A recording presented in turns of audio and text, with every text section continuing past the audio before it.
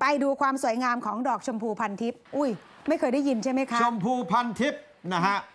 เออดอกเดียวกับเฮียเสกไปเปล่ามันดอกอะไรมันคนละที่นะพันทิพย์นะดูค่ะที่มอเกษตรนะคะที่กำแพงแสนโอ้กำลังบานแล้วโอ้ร่วนี่งลเขางเรียกมาเขาเรียกอะไรนะฮะชมพูพันทิพย์เหรอสวยมากบนถนนอ๋อทางเข้าฝั่งโรงเรียนสาธิตเกษตรนะคะปลูกไว้เยอะเลยเนาะวิทยาเขตกำแพงแสนนะปลูกเยอะแล้วก็เวลาเขาร่วงลงมา มันเหมือนกับไม่ใช่ว่าเหมือนต่างประเทศเหมือนเกาหลีซาผกุสมระ ญี่ปุ่นผสมอะไรอย่างเงี้ยเหมือนเหมือนดอกซากุระ เออ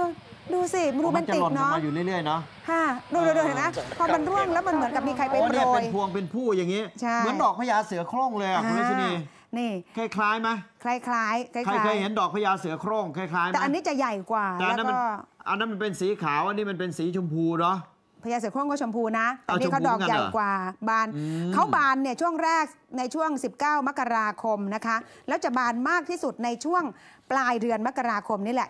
21-25 นะคะครับก็ถือว่าสวยงามมากแวะไปดูกันได้นะคะ ปีนี้ถือว่าบานเยอะมาก ดอกชมพูพันทิพย์